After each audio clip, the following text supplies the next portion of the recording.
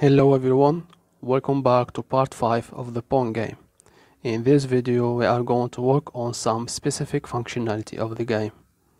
We know that every time we start the game, the ball will start immediately moving by itself. And also when a player scores a point, the ball will start moving again by itself and that's annoying. And we need to fix that. So we go to the ball script and we need to create two new functions. The first function is going to be the stop ball function. And here where we are going to make the ball stop moving by setting the speed to zero. So speed equal zero.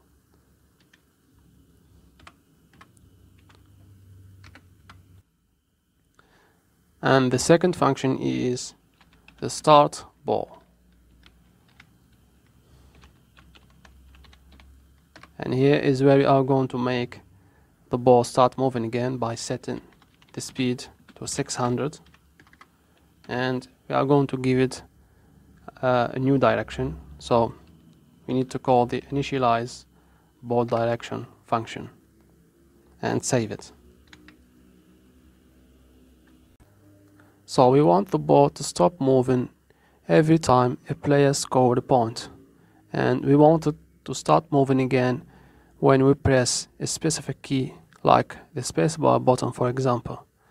And also we want the ball to stop moving when we first start the game.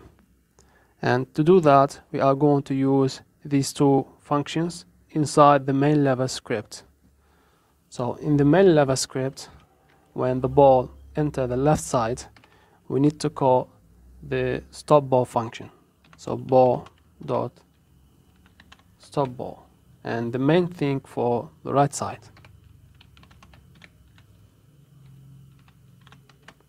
And let's test it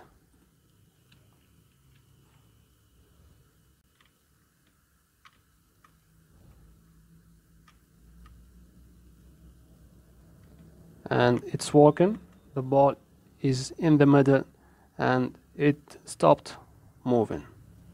Now we want the ball to start moving again by pressing the spacebar button and we need to do that inside the physics process function.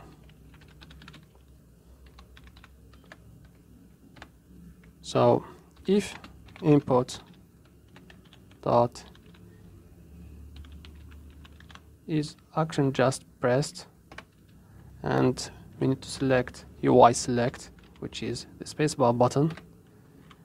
We want to call the start ball function. So ball dot start ball and let's run the game again.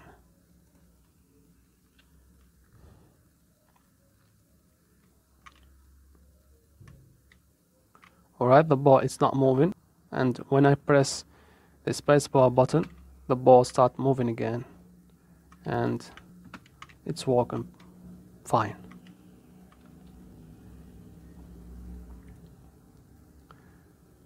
Now we want the ball to stop moving immediately when we start the game. And we can do that in the ready function. We need just to call the stop ball function. And let's see fine. The ball is not moving. And when I press spacebar button the ball move again. And everything is working fine.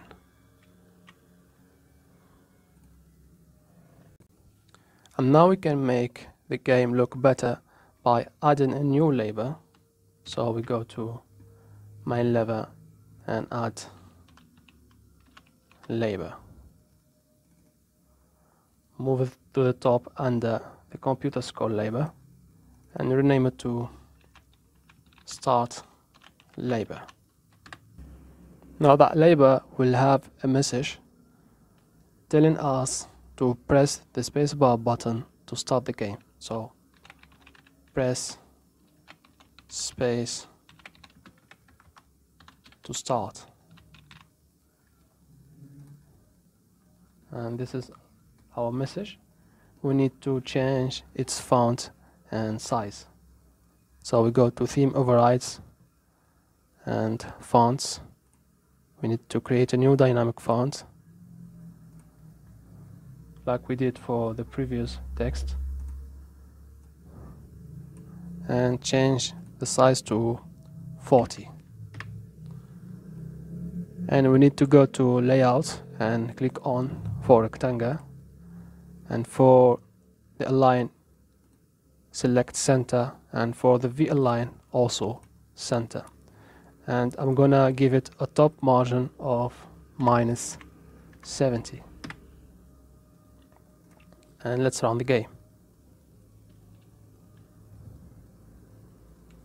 So we have that text telling us to press the spacebar button to start the game. But we need to make that text hidden every time the ball start moving. And in the main level script we need to get access to that label so on ready var start label equal to start label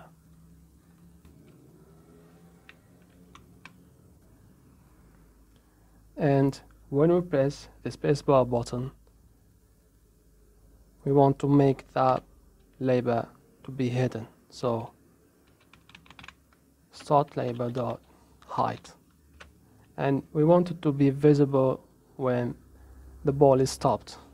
So start label dot visible equal true.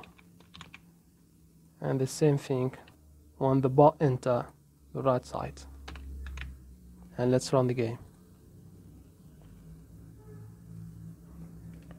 Now the text is visible and when I press the spacebar button it will be hidden. And when the ball is stopped it will be visible again. So everything is working fine. And this is it for today. I hope you enjoyed the video and see you in the next part